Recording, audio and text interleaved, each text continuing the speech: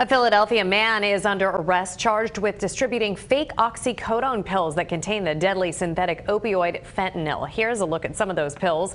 They are blue and have canine stamped on them. Montgomery County District Attorney Kevin Steele says the pills are much stronger and deadlier than people think.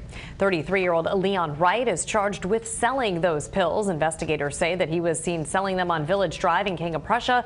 He was allegedly operating out of a home on South Goddard Drive in Upper Merion. Wright is now in jail.